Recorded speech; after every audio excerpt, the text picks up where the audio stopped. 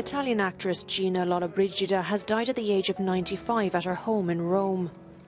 She was considered to be one of the greatest stars in the history of cinema from the golden years and was one of the highest profile European actresses of the 1950s and early 60s.